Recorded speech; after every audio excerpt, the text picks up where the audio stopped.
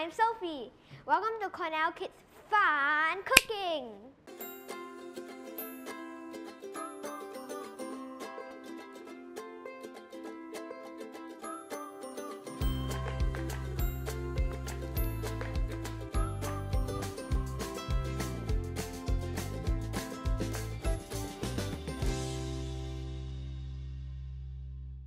Today we're making mini donuts using the Cornell Blue Bae Snack Maker. We need to prepare flour, sugar, eggs, butter, and milk. First, you get the bowl of flour and slowly pour it in.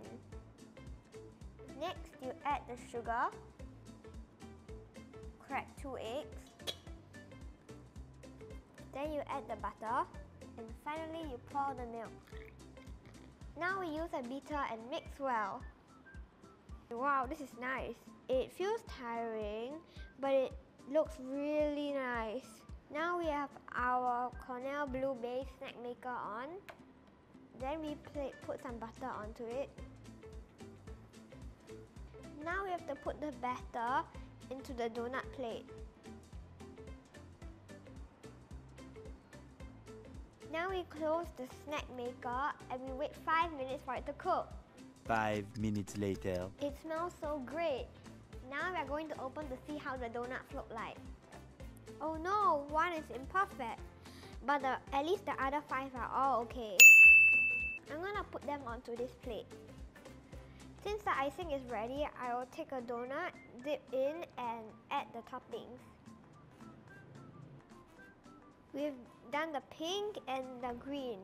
Next will be my favorite, the chocolate one.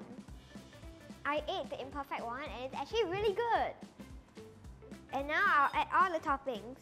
You got, I'm gonna add marshmallows to the pink one and I'll definitely add rainbow balls to the chocolate ones. I'm gonna add as much as I can.